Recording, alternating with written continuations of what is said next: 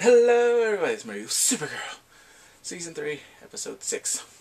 All right, spoilers. If you've not watched this episode, Alex and Kara are going back home. They're going back there for some R&R. They're going to relax. She wants to forget about Maggie, as you should. That was a weird, bad tagline, forced story. Some people are like, ah, how dare you say that? Mm, It was forced. Okay. It didn't. It didn't for me. It did not feel organic. I will say that literally. I would say I did not feel like it had continuity. I was like, Mm-mm. but anyway, it's a flashback. So it flashbacks to when they're in high school. Yeah, Alex did not like Kara because of the powers and everything. Like, oh, why do I have to take care of her? Like, she's not my real sister.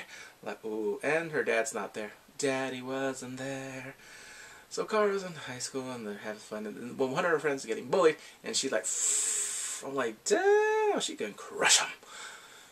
And then after that, she friend zoned her friend that she liked. Uh, I think Kevin, or guess what happens? He dies. I was like, damn, you just friend zoned the only man that wanted you. And then, ooh, I'm like, okay. So now she wants to find the person that killed him. Because the whole thing, I'm like, wow, what the hell's going on? So Kara's looking and looking, and then she finally finds his laptop.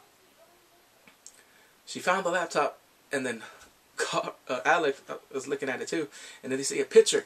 Their teacher kissed one of her friends. He's like, "Oh, come on, he's a pedo. He can't be doing that. He's kissing underage." Like, "Oh, I'm almost 18. You're 17." And then I'm like, "Hmm." But the thing is, yeah, this, he's still the teacher. The whole thing right there. I'm like, yeah. So they have him arrested, but guess what? It's not him. He's not the one because the thing is, the alibi. She was like, she was, he was with me. I'm like, ooh, more incriminating. so now they're asking for help, and then, uh, uh, this is the part where it ties in. Somebody save me, Smallville.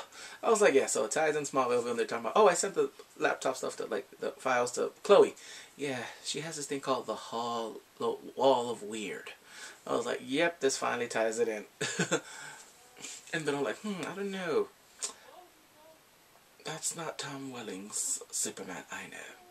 you know, the, the one that came right now, but the thing is, we all know. If you ever watch his pod, podcast with uh, Rubenstein, Ru, uh, Rosenbaum, Rubens, Ro, yeah, they tell you why, like, they don't want to be one character. Like, no, I'm above that. well, he's on Lucifer now, and him, um, um, he's directing, I think. So they're looking forward, and the thing is, there's this cop, he's running around, he's helping them, like, we will find the person that did this. And guess what? Uh, Alex is at a game, and then they do find out because Chloe sent Kara a message. It's the cop. He is dirty.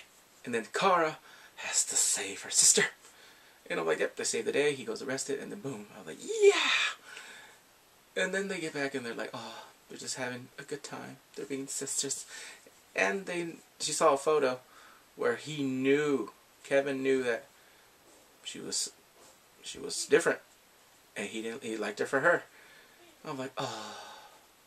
Well, those are the moments I liked from this episode. Please come right straight up and take care.